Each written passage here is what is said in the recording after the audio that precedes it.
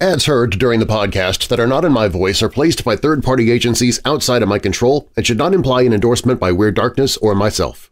Stories and content in Weird Darkness can be disturbing for some listeners and is intended for mature audiences only. Parental discretion is strongly advised.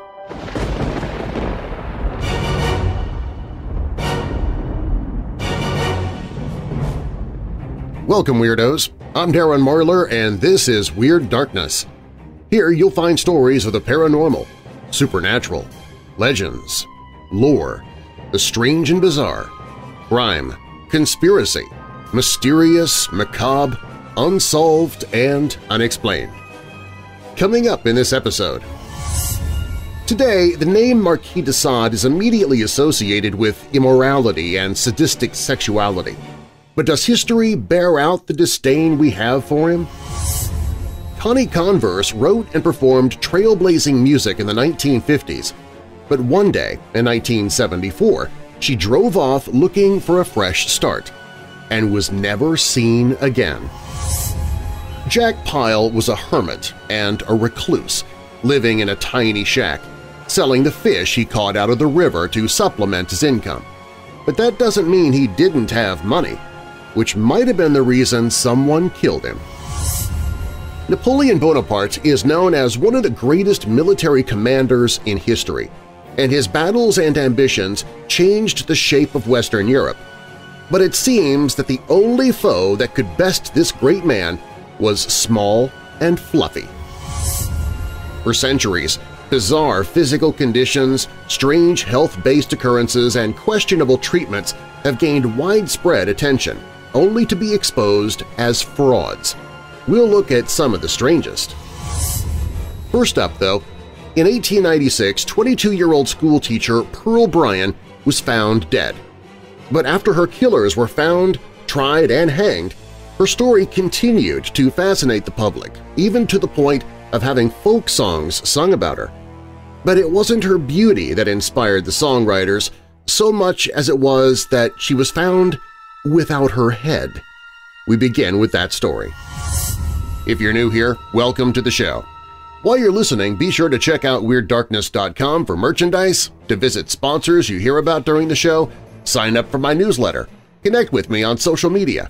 Plus, you can visit the Hope in the Darkness page if you're struggling with depression or dark thoughts. You can find all of that and more at WeirdDarkness.com.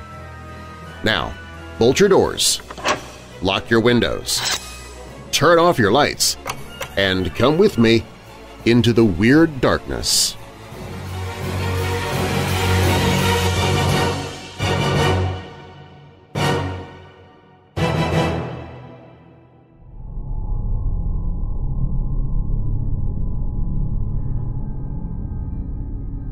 On January 28, 1896, Sunday school teacher Pearl Bryan left her home in Greencastle, Indiana to visit a friend in Indianapolis, or so she said. At the time, Bryan was 22 years old and, unbeknownst to her parents, who would never see her again, five months pregnant. Less than a week later, Bryan's headless body was found more than 150 miles away in Fort Thomas, Kentucky. Her head, on the other hand, has never been recovered. In short order, two students at the Ohio College of Dental Surgery in nearby Cincinnati were arrested for the murder. Scott Jackson, it turned out, had been engaged in a secret romance with Bryan across several months leading up to her death. According to testimony offered during their trial, he had convinced his roommate, Alonzo M. Walling, to help him. The two had slipped cocaine into Bryan's drink while they were at a saloon, then murdered her by cutting off her head. The coroner's report corroborated that Bryan's stomach contained cocaine and that she had been decapitated while she was still alive. As for what the two murderers had done with the missing head, no one could say. The suspects gave conflicting statements, claiming the head was buried in a Kentucky sandbar or at the bottom of the Ohio River. Some of the authorities investigating the case believed the pair had burned her head in the furnace at the dental college.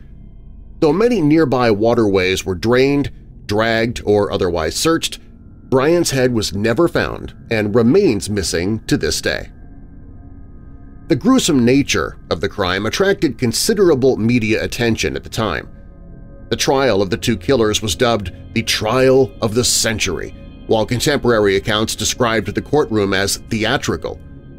What's more, people came from miles around to view the crime scene, even going so far as to take souvenirs, up to and including branches taken from around the area where the body was found, some of which may have been splashed with the victim's blood. In a shameless display of distasteful opportunism, a store near the courthouse sold Pearl Bryan memorabilia and other merchandise. Both men soon found guilty and sentenced to death by hanging. According to newspaper accounts, the announcement of the verdict was accompanied by a large force of armed officers in citizens' clothing, ready and waiting for any mob violence that might break out. Indeed, the likelihood of a public lynching in a case already so notorious and widely publicized was a very real danger. According to a retrospective article published in the Dayton Daily News some 40 years later, there was a jailbreak not long after the two men received their sentence. However, an immense mob on hearing this news rushed to the jail but dispersed when they heard that Jackson and Walling were still behind bars. It seemed that the two killers had been unwilling to join their fellow convicts in their flight because they knew that the jail was the safest place for them. The two men were hanged on the morning of March 20, 1897. Walling went to the gallows protesting his blamelessness in the crime, while Jackson, when given a last-minute opportunity to stay the other man's execution with his testimony, declared that he could not, in truthfulness, say that Walling was innocent. Both men were hanged simultaneously. According to reports, neither of their necks broke, so each one strangled to death. Yet neither ever confessed to what they had done with the head of Pearl Bryan. Perhaps unsurprising for so grisly and mysterious a crime, the story of Pearl Bryan and her missing head did not end there. Within a couple of decades of the crime itself, popular folk songs began to appear detailing it or embellishing it, with the earliest recordings dating to 1926 and 27. New songs dealing with Bryan's death have appeared as recently as the 2000s. Among these is the claim that the possibly still headless ghost of Pearl Bryan haunts the establishment, which is also said to be one of several gateways to hell. The tenuous connection between Bryan and the honky-tonk in question is that her body was found just over two miles from the nightclub's current location. Legends that have sprung up over the years suggest that Bryan's killers might have been Satanists who cursed the ground on which the nightclub stands, vowing to haunt those involved in the case. Unlikely, but perhaps not unreasonable, given that the locale of their execution was also just a few miles from the roadhouse. In fact, the legends around Bobby Mackey's music world tend to be heavily inflected with satanic themes, probably due to the fact that most of the stories developed during the satanic panic of the 70s and 80s. Like most of the stories surrounding Bobby Mackey's music world, however, there is precious little to corroborate these tales. Nothing in the trials of either Jackson or Walling suggest occult or ritualistic motivations behind their actions. Pearl Bryan's pregnancy was the far more likely motive. According to that same report in the Dayton Daily News, Walling testified that Jackson told him of Pearl Bryan's condition and asked him to relieve her by a criminal operation. From there, the plan seems to have gone through several mutations, possibly even once including a proposal to poison her to make it look like a suicide. The truth of what actually happened on that tragic night is shrouded in mystery. All we know is that it left the trees along the roadside dripping with blood and Pearl Bryan's headless corpse leaning against the fence. As to what became of Bryan's missing head, it's a secret that, assuming they truly knew it, both men took to their graves. I will tell you now, in the last moment of my life, Walling is reported to have said in an emotionless voice just before he was hanged, I was not there, and I am innocent of the whole crime. I cannot say any more. Deep, deep in a lonely valley where the violets fade and bloom, there sleeps my own Pearl Bryan so silent in the tomb. She died not broken hearted, nor from sickness did she fail, but in one moment parted from the home she loved so well. Last night the moon shone brightly, the stars were all aflame. Down to this maiden's cottage, a jealous lover came. Come, love, and let us wander down to the meadow gate, and we will wonder and ponder o'er the coming of our wedding day. The way was cold and dreary, the night was coming on. Into that lonely valley, he led this maiden on. Scott Jackson, I am tired of wandering here so long. The way is cold and dreary, I pray you take me home. You have not the wings of an eagle, nor from me can you fly. No human hand can save you, you instantly must die. What have I done, Scott Jackson, that you should take my life? You know I've always been good to you and promised to be your wife. Down on her knees before him, she pleaded for her life. Into that snowy bosom, he plunged a gleaming knife. Scott Jackson, I'll forgive you with my last and dying breath. I never have deceived you as I close my eyes in death.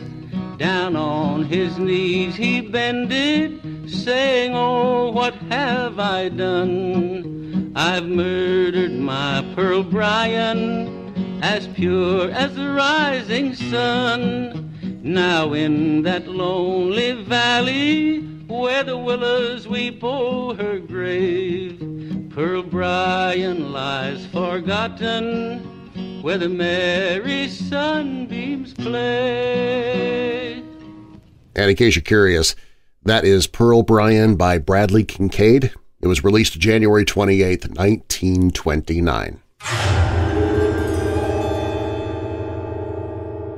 When Weird Darkness returns, Jack Pyle was a hermit and a recluse, living in a tiny shack, selling the fish he caught out of the river to supplement his income. But that doesn't mean he didn't have money, which might have been the reason someone killed him. But first, Napoleon Bonaparte is known as one of the greatest military commanders in history, and his battles and ambitions changed the shape of Western Europe. But it seems that the only foe that could best this great man was small and fluffy. That story is up next.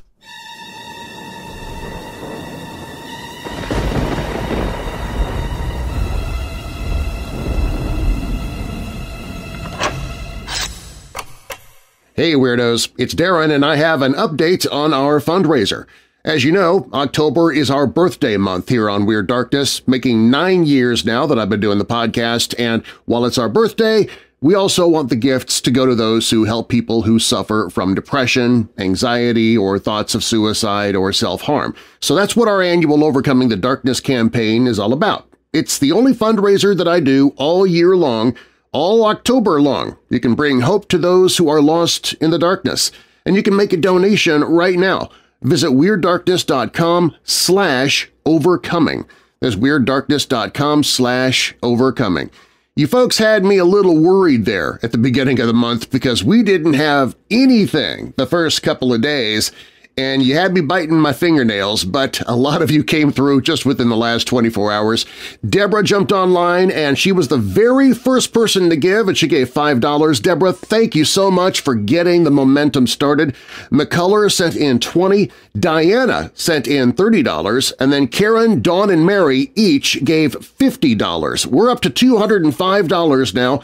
Our goal is to raise 5000 And you can donate right now at WeirdDarkness.com slash overcoming. The total that we do finally bring in is going to be divided equally between four different organizations that help people who struggle with depression, and I'll close out the fundraiser at the end of October, probably the end of Halloween night, and then announce how much we raised. Again, $5,000 is our goal. We're at $205 right now, so we got a long way to go. You can help us get there. To donate or get more information about the fundraiser and the four organizations that we're supporting, visit WeirdDarkness.com slash overcoming. Again, I'm only conducting this fundraiser during the month of October, so please give right now while you're thinking about it. WeirdDarkness.com slash overcoming.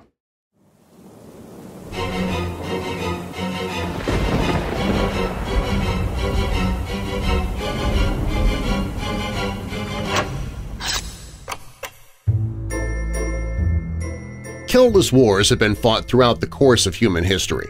Some have lasted for just minutes, such as the Anglo-Zanzibar War, which lasted no more than 45 minutes, and others have officially lasted for hundreds of years. Perhaps one of the most bizarre wars, however, is one that Australia waged in 1932 against emus. You know, those flightless birds? Whilst the war does sound silly, there were actually some quite serious social and economic problems which caused it. After the First World War, many ex-soldiers from the British Commonwealth, particularly Britain and Australia, were encouraged to settle in Western Australia as farmers. However, the worldwide depression of 1929, started by the Wall Street crash, hit Australia particularly badly, and all these new farmers suddenly found that the cost of their produce had plummeted. Making ends meet was becoming increasingly difficult for these farmers, and the problem was exacerbated by emus. Emus are native to Australia and had initially been a protected species, but by 1922 they'd been causing so much damage to farmers' crops that they became officially known as vermin, and it became legal to cull them. Every year these emus would migrate from inland areas to the coast after breeding. These vast swaths of newly converted farmland which were being used for livestock or wheat, turned out to be a perfect habitat for the emus. There was a plentiful food supply, and it was easy to traverse. When farmers were already suffering from the Depression, to have the few assets they did have being destroyed by hordes of hungry emus on the prowl was even more ruinous. By 1932, there was an estimated 20,000 of these emus attacking farms in Western Australia. The farmers gathered together and petitioned the Minister of Defense, George Pearce. Keen to help these former soldiers, Pearce decided to send military aid. On November 2nd, a group of soldiers, led by Major G.P.W. Meredith, traveled to the Campion district to kill a group of 50 emus. It had been decided that the soldiers would use machine guns as their effectiveness had been proven during the First World War, it was also argued it would be good target practice for the soldiers, and it was also expected to be good PR for the government to prove they were helping war heroes. However, the task was not as easy as anticipated. As soon as shots were fired, the emus split into small groups, and they were fast runners, meaning the machine gun fire was not as effective as expected. No more than a dozen birds were killed. A few days later, a group of around a thousand birds were ambushed by the same men, and whilst a few more were killed, the machine guns jammed and the rest of the birds had scattered before the guns could be used again. On two separate attempts, the birds had made a mockery of the Army. The rest of the first week had little more success, with 2,500 rounds of ammunition being fired to kill somewhere between 50 and 500 birds. On November 8th, just six days after initial engagement, the military personnel were withdrawn due to negative press coverage. The conflict had been discussed by members of the Australian House of Representatives and parliamentarian A.E. Green quipped that medals should be given to the emus, who had won every round so far. Despite all of this, farmers continued to ask for support as a drought had brought even more emus onto farmland in search for water. On the 12th of November, approval was once again granted for a military campaign. By December, the troops seemed to have come up with a better system for culling the birds, for on the 10th of the month, Meredith claimed he had killed nearly a thousand birds with just under 10,000 rounds. Despite this, the operation was officially ended and was not taken up again despite farmers continuing to ask for military assistance in the next few years. The Australian government ended up setting up a bounty on emus which led to over 280,000 emus being killed in Western Australia between 1945 and 1960. This, coupled with barrier fences being erected, eventually controlled the problem of emus destroying crops. Although the emus won the war, Australia seems to have forgiven them, as an emu still features on the Australian coat of arms to this day. When looking at history, it seems that great military men losing fights against animals is not so unique. And this brings us to Napoleon. The story of Napoleon's most humiliating defeat is one that has circulated the internet for years. According to legend, in July 1807, Napoleon's chief of staff, Alexander Berthier, organized a rabbit hunt for his esteemed master. He invited Napoleon and his entourage to a park that he owned within Paris and was ecstatic when the emperor accepted. He made sure to do everything he could to make the hunt as pleasing for Napoleon as possible, and the day started with a splendid breakfast. The only thing that Berthier had not been able to organize from within his property were the rabbits himself. Rabbits were at the time the most common game eaten in France, and so sourcing them could be difficult. He therefore arranged for a thousand rabbits to be brought to the park especially for the emperor. Berthier had just gained the title of Prince of Neuchâtel thanks to Napoleon, so perhaps this was his way of thanking him. Breakfast finished, the rabbits were released in the park. The huge horde started to bolt and split in different directions in an attempt to avoid the attacks that Napoleon and his companions were firing at them. Then the strangest thing happened. The herd of rabbits converged into one large mass, turned around, and swarmed towards Napoleon. Shock hit the party, and the angry Berthier immediately organized the coachmen into a battalion armed with their long riding whips to knock them back. Initially, this organization worked, and the rabbits started to flee again. The party considered it a bizarre delay but were preparing to resume their hunt, when once again the rabbits turned on them. The rabbits turned around and flanked the party on the left and right – they attacked Napoleon with an unspeakable frenzy, climbing up his legs and swarming him so much that he stumbled. Realizing this was not a fight he could win, Napoleon fled to his carriage, but the rabbits followed him and climbed upon it. Eventually, the party was able to escape. With the Emperor of France safe, investigations began as to what exactly happened in this strange incident. As it turned out, the man with whom Berthier had entrusted the task of procurement did not realize that there could be any difference between a rabbit and a rabbit, and as such had bought tame hutch rabbits instead of wild rabbits which were usually used for hunts. These rabbits were less wary of humans and had not eaten since the day before. Thus, when they were released, they ran towards the group looking eagerly for food, instead of running in fear as a wild rabbit would. The story is certainly fantastic, but is it true? Most of the more popular results on Google recount the story in very similar words, and many of them consistently quote historian David Chandler with the exact same quote from him each time. This made me suspicious that the story could be a case of internet telephone, and so I decided to try and go back to some sources. I found the David Chandler in question, and sure enough, Google Books threw up a source. The Campaigns of Napoleon by David G. Chandler, originally published in 1966. And there, on page 593, was the tale of Napoleon fighting the rabbits. But frustratingly, Chandler did not provide a source for the story. This is not so unusual for older history books, but maddening nonetheless. So back to Google. After some deeper digging, I came across a Tumblr page called And Other Lies, run by a French woman who describes herself as an amateur historian. Back in August 2019, someone had asked the question that I wanted answered. Was the Napoleon story true? Luckily for us, there was finally a source.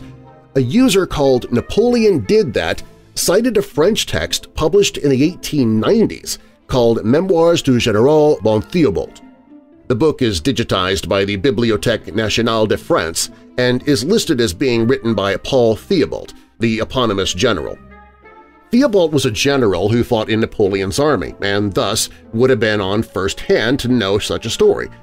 However, Theobald died in 1846 and many of his stories and memoirs were published after his death. In this case, the book entry tells us that this version was published by his daughter from the original manuscript by someone called Fernand Calmettes.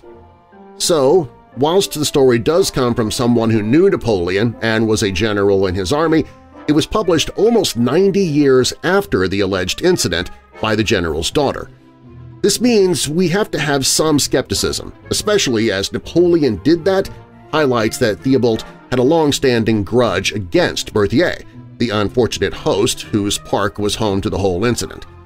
So, did this happen at all? Or was it something that Theobald made up to spite his enemies who died 30 years before him?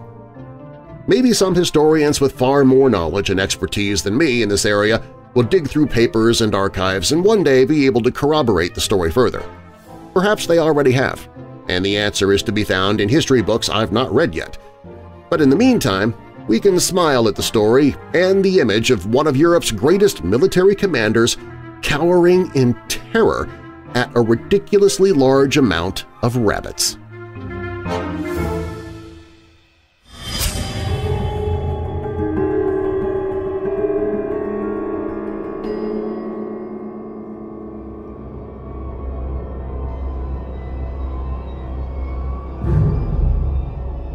In 1908, Jack Pyle, 56, lived in Holt County, Missouri. A widower, his only living relatives were a brother and a daughter who resided in Kansas. Pyle rented a shack and five acres from Emmett Hayer, about three miles outside the village of Craig.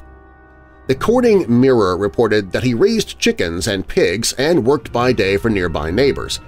Living within yards of the Missouri River, Pyle often sold fish to augment his income. The Mirror stated that on Saturday morning, August 23rd at 11.30 o'clock, Jack Pyle was found dead on his kitchen floor in the Lake Shore District. On Monday and Tuesday the 17th and 18th, he'd been helping Jim Allen make hay. He took supper at Mr. Allen's Tuesday evening. This was the last seen of him. Allen had paid Pyle $60 for his services. Pyle, described variously as a recluse, a miser, or a hermit, lived in a small, cluttered cabin. For years, rumors circulated in town that he had a stash of gold coins secreted in his home. He was said to be irritable at times and somewhat daffy. But he was a good worker, so neighbors put up with his quirky habits.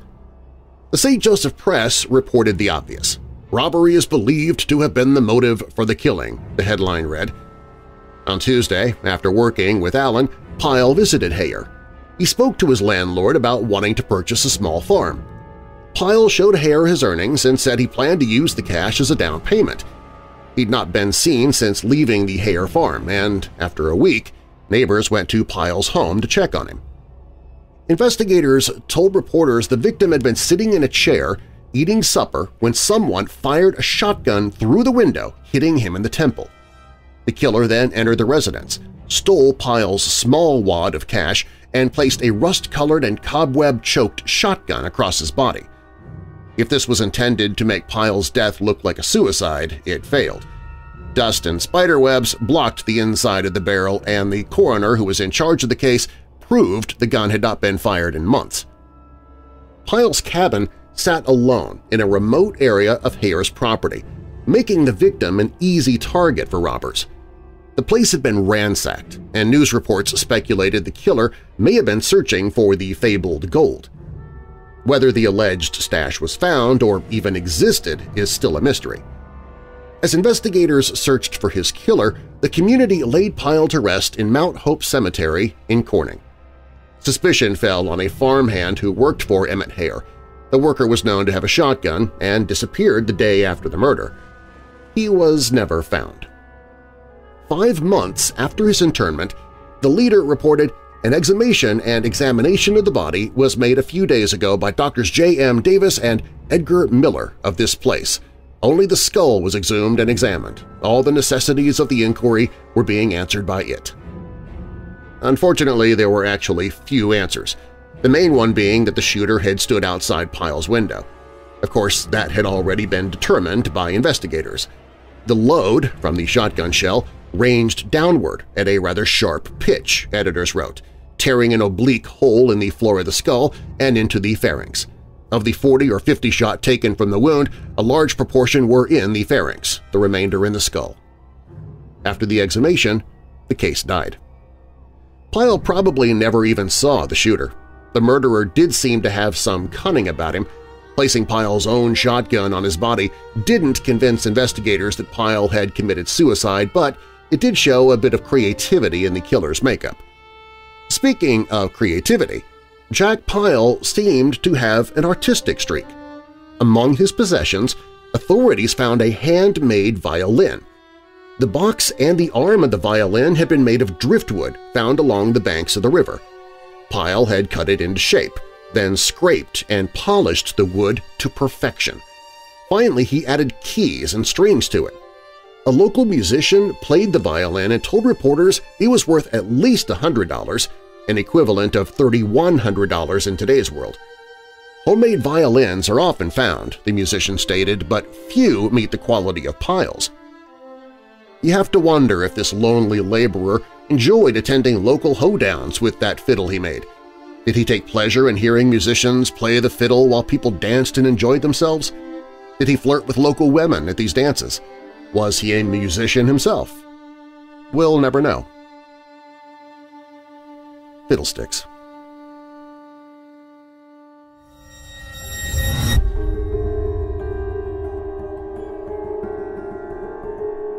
Coming up, today the name Marquis de Sade is immediately associated with immorality and sadistic sexuality. But does history bear out the disdain we have for him? Plus, Connie Converse wrote and performed trailblazing music in the 1950s.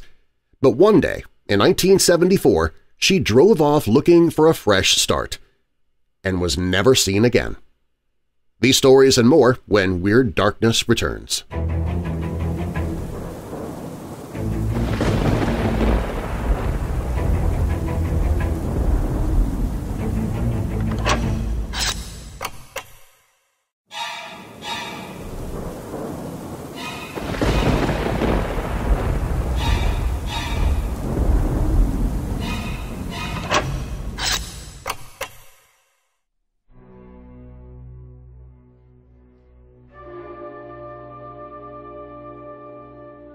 Donatien Alphonse Francois Marquis de Sade was one of the highest-ranked and powerful French noblemen of the 18th and 19th centuries. Yet he's remembered today for his depraved reputation and cruelty to others, apparently in pursuit of self-exploration and discovery. Despite all the advantages of rank, position, and wealth, the Marquis would end his life in a mental asylum, dying wretchedly and shunned by his peers – but does the man who coined the word sadism to describe his wanton cruelties deserve his fate? Certainly the evidence is damning. The Marquis wrote many scandalous, sexually explicit, and sadistic literary works. But already there's a contradiction in the response of his readership. On one side, he was a best-selling author of his day, gaining quite a bit of fame. On the other side, his works were often banned from public circulation, some as late as the 1950s. Modern appreciation has been a long time coming, but it is firmly in support of the Marquis today. In 2017, the modern-day French government announced that Marquis de Sade's works were a national treasure. So the question again rises, was Marquis de Sade a great writer and genius, or simply someone who indulged in sexual profanity and sadism? The answer is yet to be found. Although he was a politician and philosopher, the Marquis de Sade was more famous for his works. His works included novels, short stories, plays, and political tracts. Many of his works were indeed published under his name. However, a number of his works were published under a pseudonym, and Marquis de Sade denied ever writing them. He's most famous for his erotic literature works that combined pornography with deep philosophy. There was both violence and beauty in Marquis de Sade's erotic works. His works often focused on physical and emotional responses to external influences, and he returned several times to the concepts of humiliation, sodomy, pain, and crime. More dangerously, his erotic works also touched upon blasphemy against Christianity, which enraged people of his time. Therefore, it is unsurprising that he became infamous and his works were forbidden. Were the extreme acts he explored in his literary works mirrored in his real life? It certainly seemed so, with several anecdotes about the Marquis showing the same streak of violent sadism he discussed in his works. He was certainly a man of excess, known to participate in orgies and beat his servants. Was it madness that drove him to these acts then, madness he even apparently self-diagnosed in his works? This seems to be a step too far. These incidents did not show clinical signs of sadism as explained in his writing. This shows that how the mind works is not always reflected by the actions of a person. The person can very well function according to social rules while hiding dark, unacceptable thoughts in his mind, and it seems the Marquis was exploring his dark thoughts, but also aware of their limitations within society. He was aware of his boundaries, but perhaps he was testing those boundaries as well. Sade was not a supporter of unbridled lust that could lead to criminal corruption in society. He advocated for the use of public brothels supported by the state so that men could satisfy their most innate desires without causing harm to society. In a way, this shows that Marquis de Sade was not really the sex-hungry, depraved maniac that he's been portrayed as. In his recognition of the baser instincts of humans, there was an honesty that most public conversations shy away from in their prudery. He was to an extent merely acknowledging sides of human emotion which exist and which, for some, must give vent to expression. However, this does not mean that Marquis de Sade was free from controversies or scandals. To be clear, the Marquis was not above practicing what he preached, and from his life history it's clear that he thrived on scandal and controversies. He repeatedly hired prostitutes, both male and female, to fulfill his sexual fantasies. The accusation of blasphemy was also at the time a serious allegation against a nobleman. All these stories of the Marquis, including a suggestion of an extramarital affair with his wife's sister, are, however, only accusations. With the events described hidden away behind the high walls of his castle, these accounts cannot be fully proven. Even if they were true, Marquis de Sade was never publicly profane. Even today, people are confused about the Marquis de Sade. On the one hand, we have a revolutionary philosopher not afraid to speak out at both the hypocrisies of the French aristocracy and the evils of the reign of terror that followed the French Revolution, both actions which saw this imprisoned. On the other, we have a monster driven by lust and greed of the physical kind.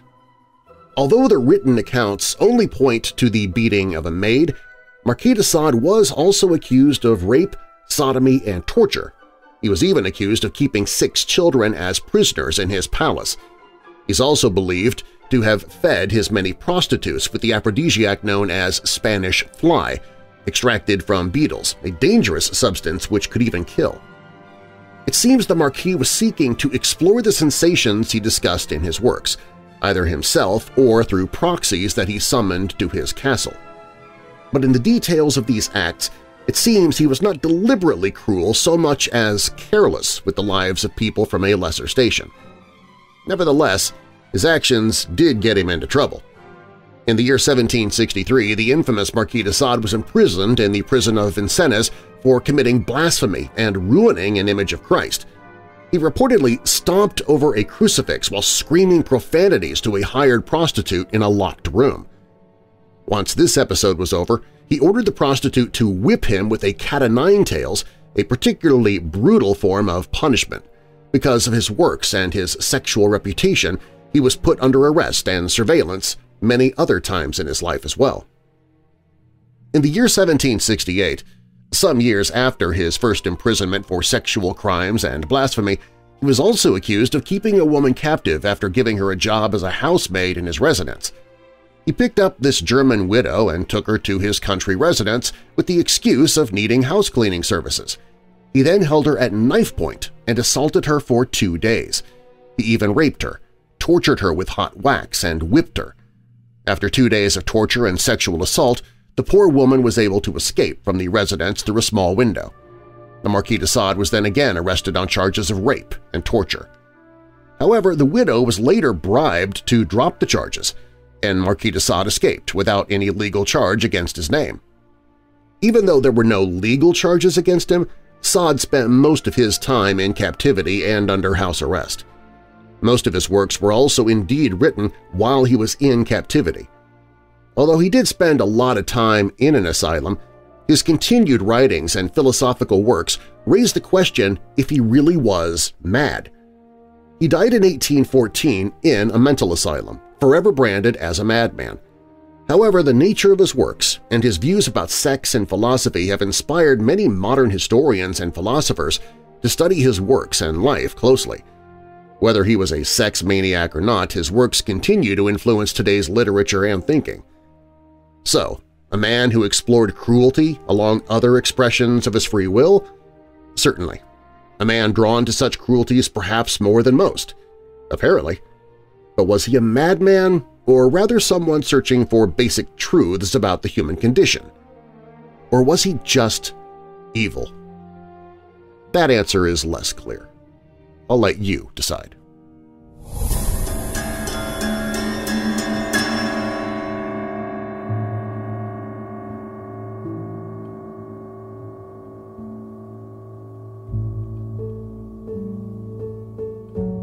Connie Converse never released a commercial album, yet nearly 50 years after she vanished from the face of the earth, her music has gained more recognition and acclaim than ever before. She was ahead of her time, a singer-songwriter whose music sounds surprisingly contemporary considering when it was made. Her lyrics are witty, solemn, and at times funny, but with an unspoken sense of longing, reveling in her isolation as much as she lamented it. She was a female folk singer at a time when such a thing was largely unheard of and no one knew her name.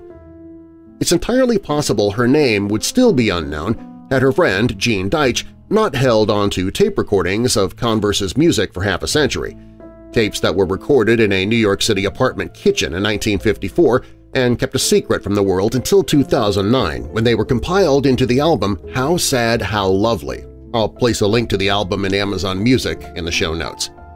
But while her music has earned a cult following since its public release, the woman who wrote it never took her rightful place in the spotlight. In 1974, just after her 50th birthday, the downtrodden, depressed Converse sent letters to her family and friends saying that she wanted to start fresh in life. She was never seen again. This is her story. Elizabeth Eaton Converse was born on August 3, 1924 in Laconia, New Hampshire to a minister and his wife whose household was strictly Baptist. She had two brothers, Paul, who was three years older, and Philip, four years younger. Per the BBC, Philip, who later became a political scientist, once described his sister Connie as both a genius and a polymath when she was young. I do not use the terms lightly, he said. Converse excelled in her academic studies and eventually earned a full scholarship to Mount Holyoke College, which both her grandmother and mother had attended. But in a departure from tradition, Converse did not graduate from Mount Holyoke College. Instead, she dropped out after her second year and charted a course for New York City to pursue her passions for music and writing. In a further act of shunning tradition, she dropped the name Elizabeth and began to use the name Connie instead. Our parents were devastated, Philip Converse would later tell The New Yorker. And if that weren't devastating enough for their parents, Connie Converse took up drinking and smoking, reveling in her independence and self-reinvention. While in New York, Converse spent her time writing poetry, drawing, painting, and learning to play the guitar. She began publishing essays with the Far Eastern Survey and worked at a printing house in the Flatiron District. She had an apartment in Greenwich Village, and it was there that she wrote her music and performed it for her friends. As chronicled in The New Yorker, Philip Converse did not follow his sister to New York. Instead, he moved to the Midwest, and the two kept in touch by exchanging letters. In one of these letters, she wrote to him, Being a complex and inward personality, I've always found it difficult to make myself known. I generally conceal my own problems and listen attentively to those of others. Converse's introspection reads like an unfortunate prediction. For one reason or another, she could never make herself known, and her recognition only came many years after she vanished. When Connie Converse arrived at Gene Deitch's apartment in 1954 to record her music, the animator and audio enthusiast nearly didn't record the standoffish, plain woman. Converse was a friend of a friend, an atypical woman at the time who, one attendee said, looked like she'd just come in from milking the cows. But when she performed her intimate songs in Deitch's kitchen that day before a small audience, she stunned everyone in the room. Her music was personal, eerie, folksy, and metaphorical in a way that had never been done before, though the echoes of it can now be heard in the music of modern singer-songwriters. The more I thought about it, the songs were all about herself, Deitch later told the BBC, I think that's what makes the songs interesting. No matter what she was singing, it all had to do with sexual frustration and loneliness. There's something about those songs that was extremely personal. In those days, this was something you never heard. Not long after the recordings of Deitch's, Converse appeared on CBS's Morning Show, hosted by Walter Cronkite. But what should have been a moment that skyrocketed Converse's career instead amounted to nothing. Despite the televised performance, there were no recording contracts, no tours, and no marquee featuring her name. Over the course of the next seven years, Converse's style changed dramatically. She put down the guitar in exchange for the piano. Her once short-form compositions became longer and more sophisticated, all culminating in a series of songs inspired by the myth of Cassandra, which tells of a woman who was given the gift of prophecy by the gods and then cursed by Apollo so that no one would believe them. Still, Converse struggled to find an audience for her music, and in 1961 she left New York for Ann Arbor. Once again, Converse was ready to start anew. By 1963, according to the New York Times, Converse abandoned songwriting entirely. She worked as a secretary, then as the managing editor for the University of Michigan's Journal of Conflict Resolution, she began writing a novel and volunteered as a political activist while back in New York the folk revival was properly taking off without her as artists such as Bob Dylan, Van Morrison, Woody Guthrie, and Leonard Cohen rose to stardom. Converse's friends and relatives, meanwhile, saw a woman who'd become bored with her routine, increasingly disillusioned and depressed, drinking with an alarming frequency. Half a year in London did little to ease her sorrows, and a subsequent trip to Alaska seemingly made them worse. Then in 1974 she reportedly told her brother Philip, Human society fascinates me and awes me and fills me with grief and joy. I just can't find my place to plug into it. That same year, one week after her 50th birthday, she wrote a series of letters to her family and close friends saying she needed to make a fresh start somewhere else – she loaded her things into the boot of her Volkswagen Beetle and left Ann Arbor. No one ever heard from her again. In 2014, five years after the release of How Sad, How Lovely, filmmaker Andrea Kannes released We Lived Alone, the Connie Converse documentary, which explored Converse's life and music through Converse's own home recordings, letters, and journals. It's almost like she wanted it to be found and looked through, Kannes told the BBC. What I found most fascinating was how funny she was in her writing. Here was a person who struggled through her whole life to feel successful, and you can tell there's a great sadness with a lot of the things she did and the way she lived her life, but she was also incredibly funny. But there was still this wall between her and other people, she added, where it didn't seem like she 100% connected with anybody.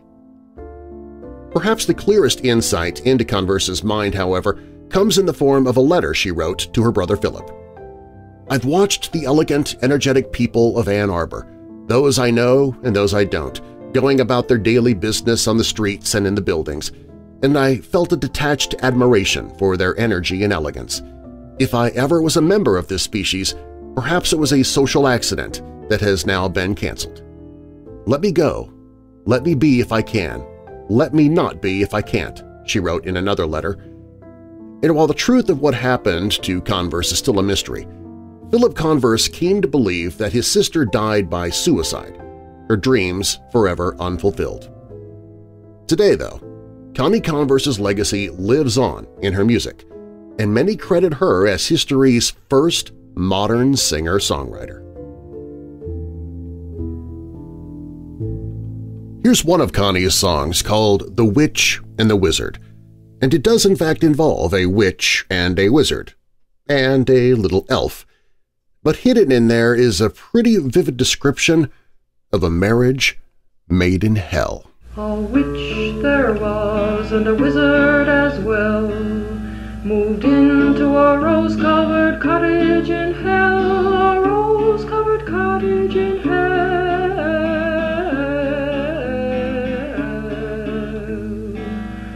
The wizard, in spite of his wizardly eyes Didn't know he had married a witch in disguise he thought her a very respectable maid and hoped she would never discover his trade. The witch was not wanting in womanly wiles, she covered her bridegroom with ruffles and smiles. She only went witching on Saturday night and hoped in between times it all would go right. Next day the witch bore the wizard an elf. So handsome he looked like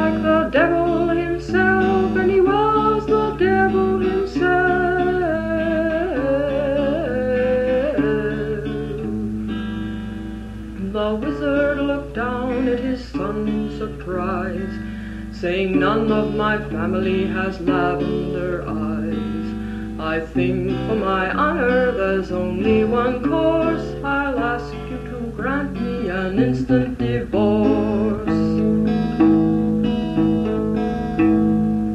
The witch was in tears, for she knew beyond doubt she certainly hadn't been gadding about. And now, since the baby had lavender eyes, she saw very clearly her husband's disguise. The devil looked up from his crib and he smiled. Don't break up your home, you must think of your child. Remember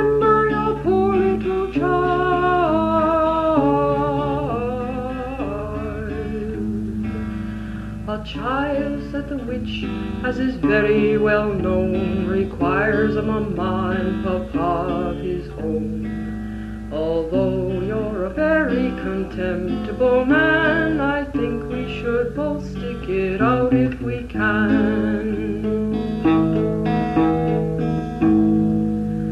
The wizard refused to acknowledge his son, but in dutiful deeds he would not be outdone by a wife who would waffle and put things to rights and stick to her knitting on Saturday nights.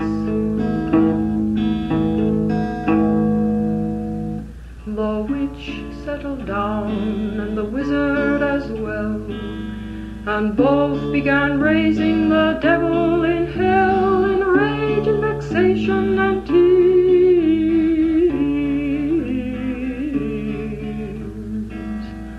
The witch can't stop witching, the wizard won't speak, and though they've been married for only a week, it seems like a thousand years.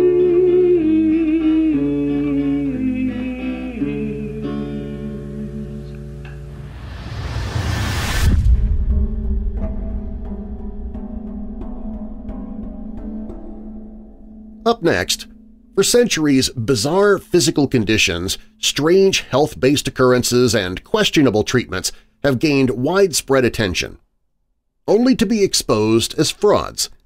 We'll look at some of the strangest.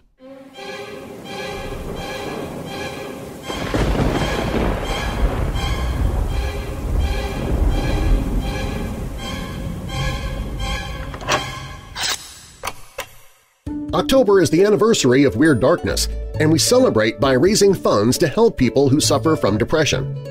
Catherine sent in a donation during a previous Overcoming the Darkness campaign and said, I wish your podcast had been around several years ago. My brother would have loved it, and maybe he wouldn't have felt so defeated. Rob committed suicide in October 2012, leaving devastated family and friends. I hope this donation gets the help and support they need and understand others want them to stay in their lives. We all know someone who's been affected by depression or suicide, and Catherine's message is the perfect reason for you to give whatever you can this month during our Overcoming the Darkness fundraiser, where 100% of the proceeds are donated to organizations that help people struggling with depression. You can learn more about these organizations and make a donation of any amount at WeirdDarkness.com slash overcoming. That's WeirdDarkness.com slash overcoming.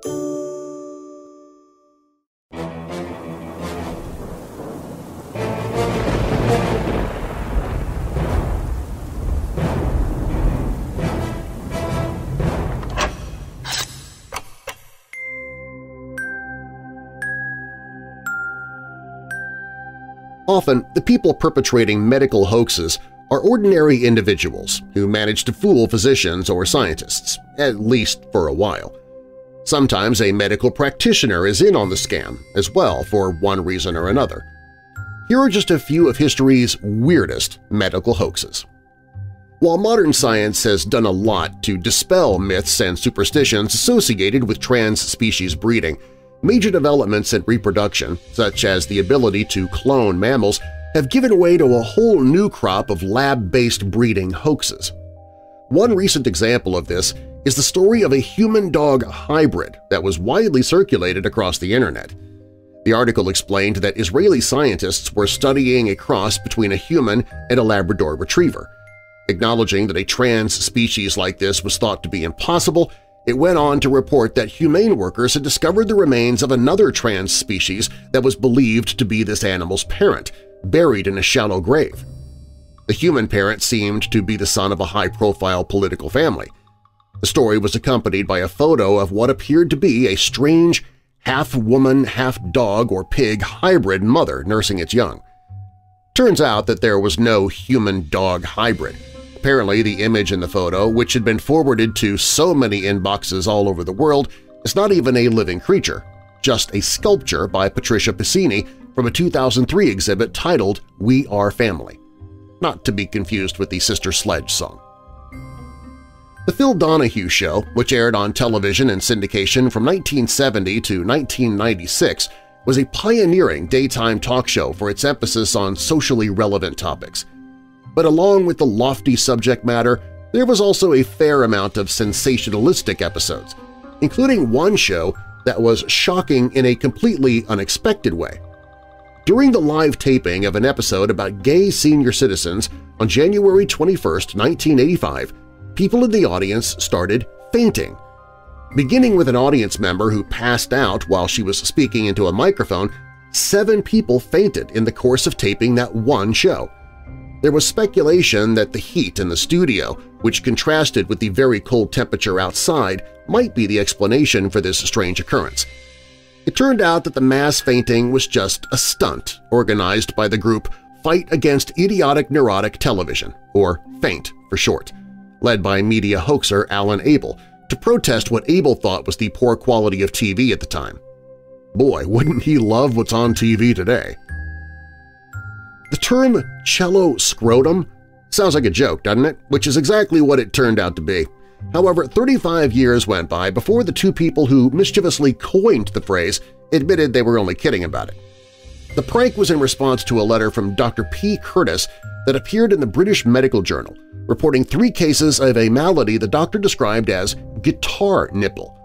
Assuming the letter was a hoax, Married couple John Murphy and Dr. Elaine Murphy were inspired to write a reply. The letter, published in a 1974 issue of the Journal, was signed by John but written by Elaine.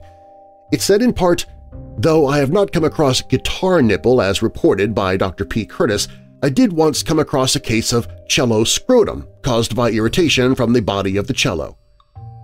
When the Murphys finally announced that cello scrotum was just a spoof, they argued that it would be obvious to anyone who had watched the cello being played that such a condition was impossible. Here's a good one. In medieval times, astrology was often used to guide medical practitioners and researchers. In the late 16th century, a medical professor at Julius University in Helmstedt named Jacob Horst decided to investigate reports of Christoph Mueller, a young boy in Silesia, said to have grown a golden tooth. When tests confirmed that Mueller had a real gold tooth, Horst wrote a treatise in which he laid out a theory based on astrology. He speculated that the bone in Mueller's jaw had turned to gold because he was born when the planets were in an unusual alignment, which Horst believed had caused heat from the sun's rays to intensify. When the impact of chewing food and multiple tests caused deterioration of what turned out to be just a thin layer of gold fitted on the outside of the tooth, Mueller refused to let it be examined anymore. Hmm. One curious drunken nobleman who would not take no for an answer stabbed the boy's cheek. After a physician treating the wound discovered the truth about the tooth, the person responsible for the gold veneer seems to have escaped punishment, either by running away or remaining anonymous, but Mueller was hauled off to prison. However, something positive did come out of the hoax. This was the first documented creation of a molded gold crown in the history of dentistry. There have been a lot of hoaxes that have centered on the possibility of extending the human lifespan. One of these was a widespread story in the 1970s involving the Ecuadorian village of Vilcabamba, where it was said to be common for residents to live past 100 years old, with at least one person reaching 134. American journalists took the story seriously, and an article in National Geographic drew a large number of tourists to Vilcabamba. But the reason behind the longevity was unclear. In 1978, Richard Mazess of the University of Wisconsin and Sylvia Forman of UC Berkeley released the findings of research they'd conducted, which revealed this fountain of youth to be a myth. Investigations showed that no one in the village was over 100 years old. The average age of those who were believed to be centenarians was just 86 years old. One man, claiming to be 127, was actually 91. Still impressive, just not as much so. As a playful hoax, 18th-century physician Johann Heinrich Cohausen included a description of a very strange formula in Hermippus redivivus, an expositional work that he authored on longevity. He wrote about an elixir that bottled the breath of young women, saying the consumption of the product could lengthen a person's lifespan. However, Cohausen reveals in the last few pages of the treatise that it's really a satire. So instead of a fraud, in this case, it's more of just a scholarly, practical joke. There have been countless weight loss hoaxes over the years, from pills and elixirs to topical treatments, fad diets, and more. One product sold in the 1970s with glaringly false claims was Vision Dieter glasses, which were said to decrease cravings and hunger by using, quote, secret European color technology, unquote. The initial objective of the creator was to manufacture glasses that would distort the color of food packaging in hopes of making shoppers less likely to purchase products just because they were in colorful containers. But realizing how much money could be made in the dieting field, he decided to market the glasses as a tool for consumers who were trying to lose weight. It should come as no surprise that the Food and Drug Administration took action these color-tinted weight reduction glasses were seized due to misbranding. Most pairs were eventually destroyed by the FDA when the claimant refused to come forward. The 18th century was filled with all sorts of preposterous medical hoaxes, especially far-fetched devices and treatments. One of the strangest products marketed for pain relief was a set of two small pointed metal rods flat on one side and rounded on the other, called metallic tractors. They were invented by Connecticut physician Elisha Perkins. These implements could, according to Perkins, ease discomfort from gout, rheumatism, and other conditions by draining the noxious electrical fluids which he thought were to blame for these conditions. The sufferer was instructed to gently rub the affected area with these rods. It wasn't just ignorant people who fell for this scam either. Among those who ordered a set was George Washington. A series of clinical trials from 1799 to 1801 demonstrated that any pain relief was just a placebo effect. Have you heard about the celestial bed? The legendary 18th-century British quack James Graham had a whole temple full of hoaxes. Graham, who had passed himself off as a physician even though he never completed his medical schooling, was best known for what he called electrical medicine. The harnessing of electricity was still a new science during this time, and Graham was inspired by the experiments of Benjamin Franklin, who he actually met while in America. Graham's Temple of Health was frequented by aristocrats and other celebrities. One of his most interesting devices was a fertility contraption called a celestial bed, which he claimed could cure sterility and impotence. This love nest was available for couples to rent per night. It could be tilted to different angles and contained a mattress full of sweet new wheat or oat straw, lavender flowers, rose leaves, balm, and horsetail hairs. There was also costly perfumes and oils underneath the bed. According to the self-styled doctor, static electricity that moved through copper coils around the bed produced a magnetic fluid surrounding the lovers, which helped boost their strength and increase the woman's fertility.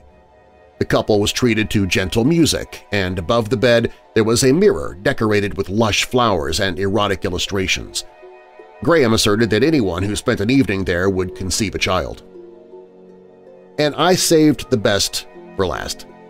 People have often been fascinated by the idea of crossbreeding between different species, especially the possibility of humans breeding with other types of animals, such as the human-dog hybrid hoax mentioned earlier. There have been a number of women over the centuries who claimed to have given birth to creatures belonging to a different species. However, the most famous such story is that of an 18th-century English servant woman, Mary Toft, who managed to convince physicians and others that she had given birth to rabbits. There were thought to be multiple litters, totaling 15 bunnies, all dead at birth.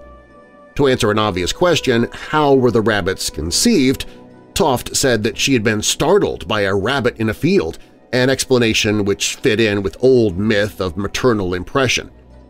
Following the incident, Toft supposedly dreamt about rabbits and experienced an intense appetite for rabbits as food.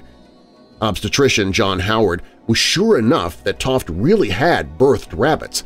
He spread the word to prominent British doctors as well as King George I, who had his doctor look into the matter. Although this physician was fooled as well, an investigation by a surgeon dispatched from the royal household found evidence of a hoax. While examining some of the rabbits, he discovered that dung inside one of them contained corn, proving it could not have developed inside Mrs. Toft's womb.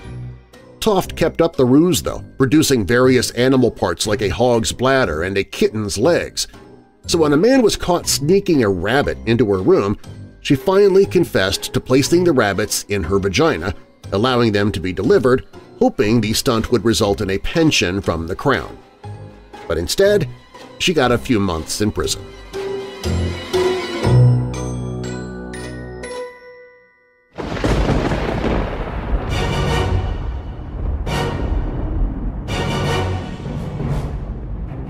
Thanks for listening. If you like the show, please share it with someone you know who loves the paranormal or strange stories, true crime, monsters, or unsolved mysteries like you do. You can email me anytime with your questions or comments at darren at WeirdDarkness.com. Darren is D-A-R-R-E-N. WeirdDarkness.com is also where you can find information on any of the sponsors you heard about during the show. Find all of my social media, listen to audiobooks I've narrated, sign up for the email newsletter, find other podcasts that I host, visit the store for Weird Darkness merchandise, and more. WeirdDarkness.com is also where you can find the Hope in the Darkness page if you or someone you know is struggling with depression or dark thoughts. Also on the website, if you have a true paranormal or creepy tale to tell, you can click on Tell Your Story.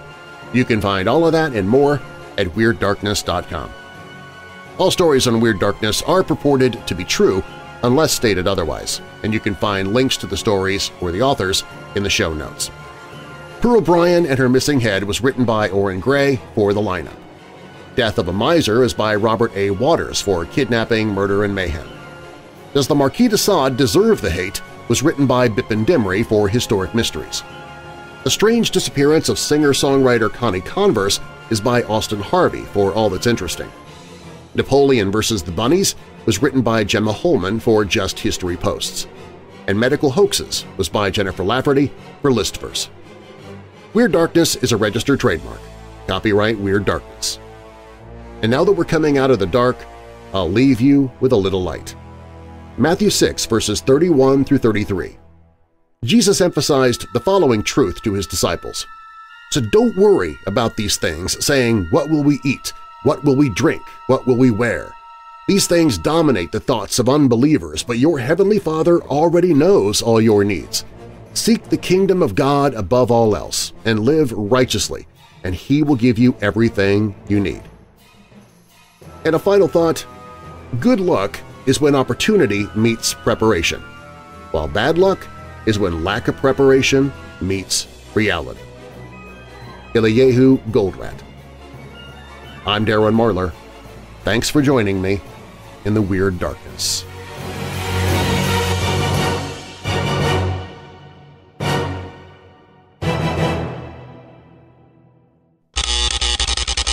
Called Memoirs du General Ben the General Bon Thibault. Du General Bon Thibault. Bon Theobald. The book is digitized by the Bibliothèque Nationale and is listed as being written by Paul Theobald, the eponym Theobald, the eponymous, included a description of a very strange formula in Her Hermippus red formula and Hermippus redivivus. rediviva formula and Hermippus redivivus. Hermippus revidita. Hermippus redivivus.